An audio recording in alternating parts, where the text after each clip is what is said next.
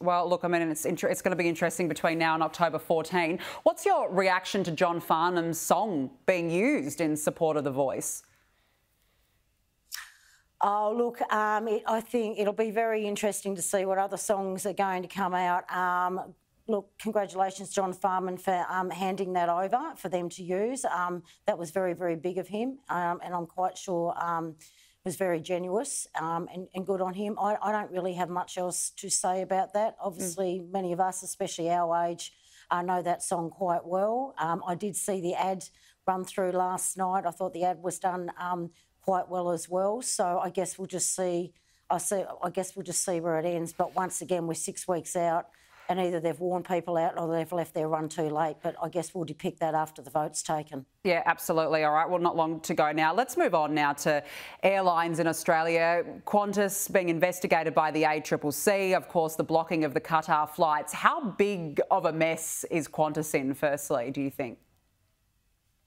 Well, that depends on whether the ACCC is actually going to take any action because it's, you know, not known for doing that that well.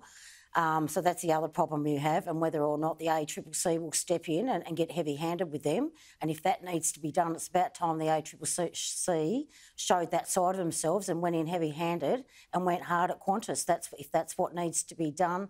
Uh, the other thing is with Qatar is, uh, you know, I'm still, I've still got to talk to people over the next through it, next two or three days. I just want to make sure that it's not going to have an effect a negative effect on the smaller domestic airlines that we ha now have flying around Australia. I would hate to see them being wiped out if this thing builds bigger and they start doing domestic flights. So I just want to talk to the people like Sharp Airlines, Rex Airlines, uh, uh, is a uh, Bonza.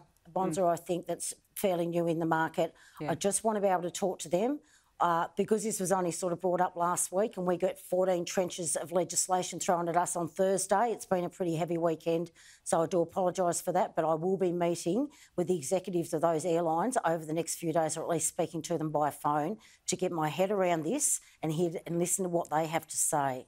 All right, just quickly, we're running out of time. Before we let you go, do you support more Qatar flights coming to Australia? What's your position on that?